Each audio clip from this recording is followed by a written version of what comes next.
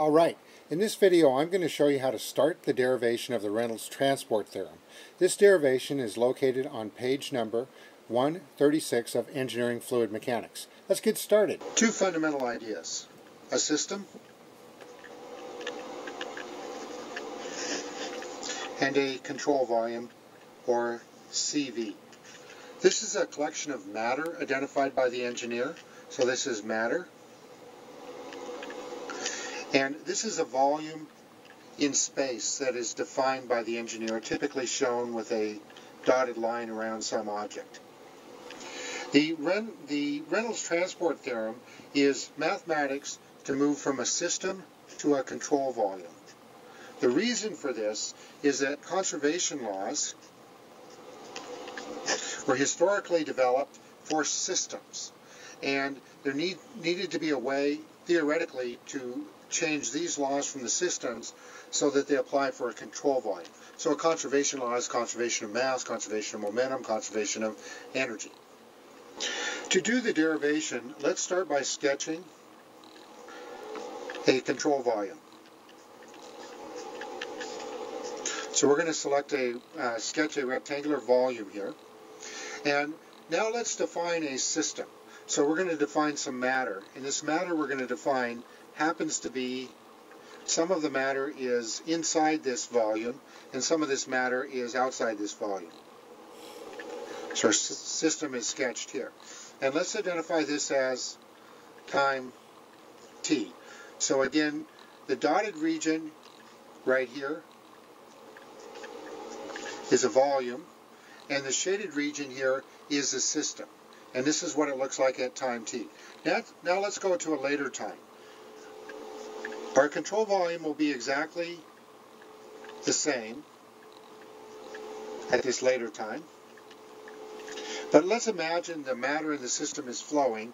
So some of the matter has passed across the control surface right here. So some of the matter in the system is now outside the control volume and some of the matter is inside.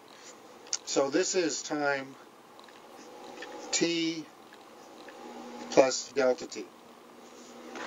All right, so let's start with the idea of the time rate of change of some quantity B in the system. And B can be mass, it can be energy, it can be momentum. It's whatever we want to conserve. And so we're writing the first derivative of this, and this is defined is B at time t plus delta t and this would be in the system, minus b at time t, again in the system, delta t, and we take the limit as delta t goes to zero. All right, let's do a term-by-term -term analysis.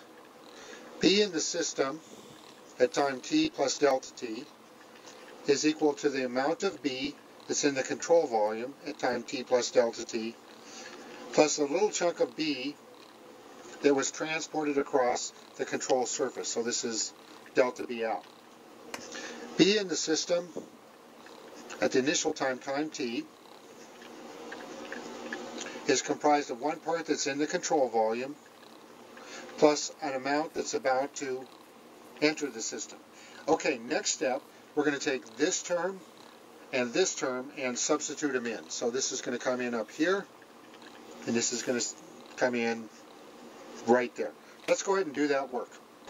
We're going to have B in the control volume at time t plus delta t plus delta B out minus B in the control volume at time t plus delta B in by delta t, and we still have the limit here as delta t goes to zero.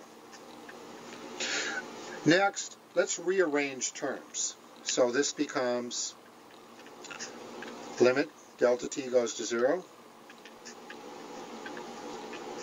The amount to be in the control volume at time t plus delta t minus B in the control volume the time t divided by delta t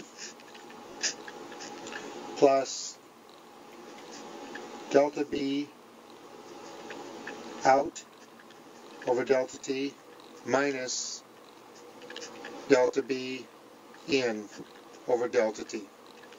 And this is all in the limit as delta t goes to zero.